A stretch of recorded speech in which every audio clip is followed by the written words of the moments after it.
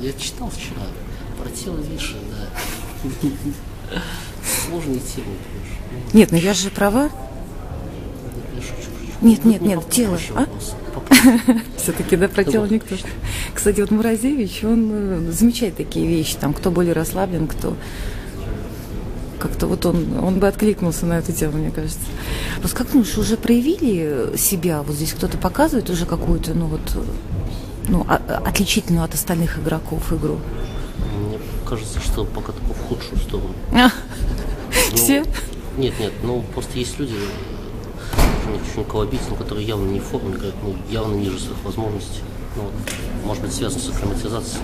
Ну, например, третью партию, не понимаю, что делать. Хикару на Камору играет. По-моему, совершенно не в свою силу.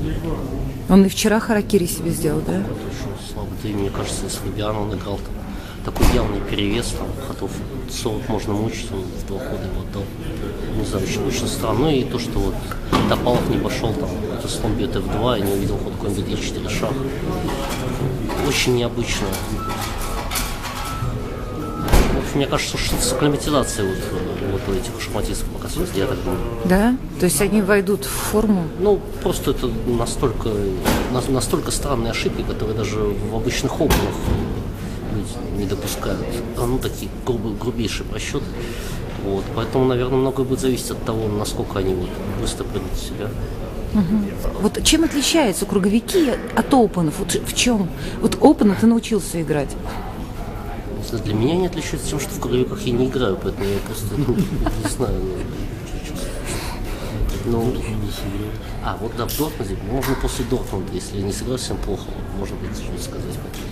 Я слышала такое, что, например, в швейцарке вообще нельзя проигрывать. То есть это, это главное, не проигрывать. А в, вот в круговике, типа, можно и позволить себе Да, я такую думал, роскошь. наоборот. Не, ну я не знаю, ну везде лучше выигрывать, чем проигрывать и так далее.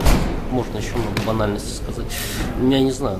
Мне кажется, в уровень сопротивления там в швейцарке время от времени ты можешь играть средний и легко выиграть партию. Такое бывает. А здесь вот по идее такого быть не должно.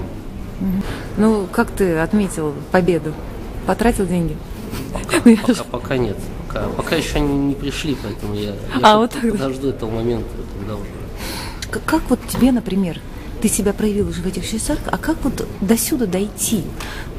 Вот что отличает вот этих сильных мира сего от людей, которые тоже, вот как ты, например, очень хорошо играют в шахматы и выигрывают турниры и все.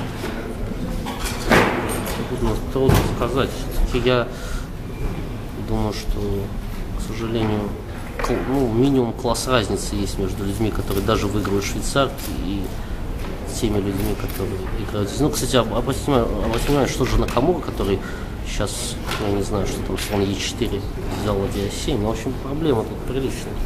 Или по три, очень неприятно. То есть Может прийти пол, пол из трех, да, при случае, а швейцарки он, по-моему, выигрывает там под сто процентов, где участвует.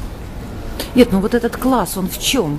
Они больше А, работают. по-моему, или- по-моему, во всем, да. Да, больше работают, больше знают, лучше считают вариант, лучше понимают позицию. Мне, мне кажется, что просто, ну, может быть, что-то, что-то не так там совсем фатально, но, но по большому счету, я думаю, что да. И за кого болеешь, такой вот вопрос последний.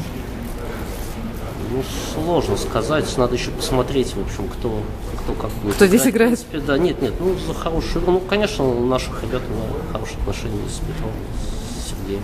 А вот я смотрю, у них, по-моему, у всех хорошие друг с другом отношения, да? Они садятся за доски и все начинают Ну, Мне общаться. кажется, там. они много уже сыграли партии между собой. Трудно на таком длинном расстоянии быть наверное, врагами. Хотя ну, мы знаем, что есть на высшем уровне такие примеры. Ну, здесь, видимо, Вот у этих ребят нет, да? я не знаю. Не знаю. Ну, так на память не, не помню такого, да.